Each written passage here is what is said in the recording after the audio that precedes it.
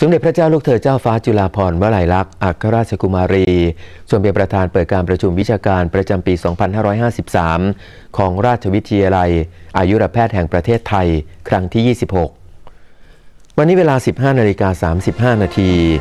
สมเด็จพระเจ้าลูกเธอเจ้าฟ้าจุฬาภรณ์วลัยลักษณ์อัครราชกุมารี เสด็จไปยังโรงแรมแอมบาสเดอร์ซิตี้จอมเทียน จังหวัดชลบุรีทรงเป็นประธานเปิดการประชุมวิชาการประจำปี 2553 ของราชวิทยาลัย อายุรแพทย์แห่งประเทศไทย ครั้งที่ 26 ในหัวข้อ Harmonization in Modern Medicine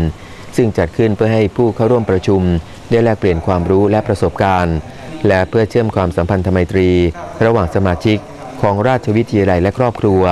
โดยมีผู้เข้าร่วมประชุมครั้งนี้ประมาณ 2,500 คน ซึ่งการประชุมดังกล่าวประกอบด้วยการบรรยายพิเศษ การบรรยายหมู่ การประชุมเชิงปฏิบัติการ การพบผู้เชี่ยวชาญ การสัมมนาผู้ป่วย นอกจากนี้ยังมีการเสนอผลงานวิจัย การประกวดผลงานวิจัยของแพทย์ประจำบ้าน และแพทย์ประจำบ้านต่อยอด ตลอดจนมีการมอบรางวัล อายุรแพทย์ดีเด่น โอกาสที่สมเด็จพระเจ้าลูกเธอเจ้าฟ้าจุฬาภรณ์วลัยลักษณ์อัครราชกุมารี ทรงบรรยายพิเศษเกี่ยวกับความเสี่ยง การเกิดมะเร็ง ในหัวข้อเรื่อง Cancer Risks from Exposure to Air Pollution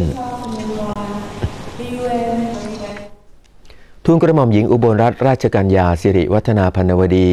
ทรงเปิดโครงการปฏิหารแห่งชีวิตครั้งที่สองวันนี้เวลา 18นาฬิกา23 นาทีทูลกระหม่อมหญิงอุบลรัตนราชกัญญาสิริวัฒนาพันวดี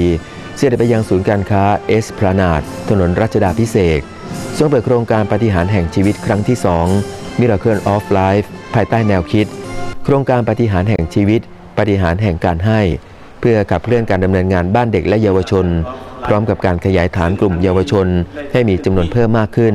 เพียงพอต่อการสร้างสรรค์สิ่งดี ๆ ให้กับสังคม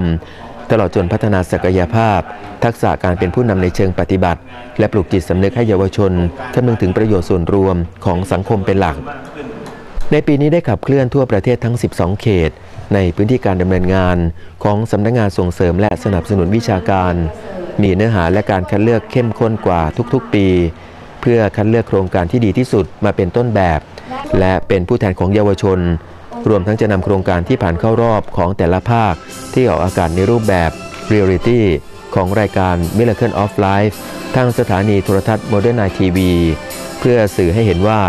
ปฏิหารสามารถสร้างได้จริง และเห็นถึงความสามารถของเยาวชนแต่ละทีม นอกจากนี้ยังจัดทำนิตยสารรายเดือน และทำเว็บไซต์ เพื่อเผยแพร่โครงการดังกล่าวนี้ด้วย จบข่าวในพระราชสำนักครับ ในช่วงนี้สถานีวิทยุโทรทัศน์แห่งประเทศไทย ขอเชิญพระบรมราโชวาท ของพระบาทสมเด็จพระเจ้าอยู่หัว เพื่อแสดงความจงรักภักดี และสำนึกในพระมหากรุณาธิคุณ ในเย็นศีระเพราะพระบริบาล วันนี้ผมสัญลักษณ์เจริญเปี่ยม สวัสดีครับ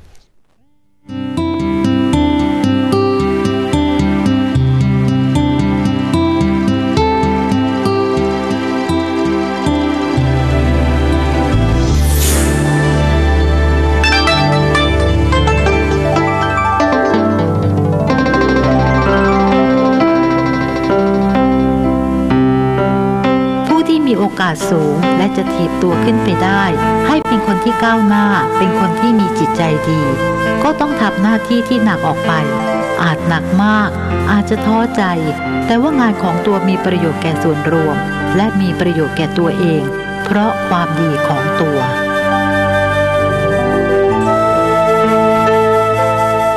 พระบรมราโชวาทในพระบาทสมเด็จพระเจ้าอยู่หัว ในพระมหากรุณาธิคุณได้กล้าวด้วยกระหม่อมขอเดชะ ข้าพระพุทธเจ้า ผู้บริหารและเจ้าหน้าที่คณะเวชศาสตร์เขตร้อน มหาวิทยาลัยมหิดล ความฝันของหญิงสาวหลายคน คือการได้เป็นผู้หญิงในอุดมคติ เพียบพร้อมไปด้วยความอ่อนโยน แต่เข้มแข็งและสง่างาม วิทยาลัยพยาบาลกองทัพเรือ ที่ซึ่งหล่อล้อมความฝันของหญิงสาวให้กลายเป็นจริง การได้เรียนรู้ที่จะช่วยเหลือเพื่อนมนุษย์และชาติบ้านเมือง เป็นความภาคภูมิใจในเกียรติแห่งเครื่องแบบพยาบาลกองทัพเรือ ความช่วยเหลือคือภารกิจอันทรงเกียรติของพวกเรา มาร่วมสัมผัสประสบการณ์อันน่าภาคภูมิใจกับเรา เครือนาวีสิคะ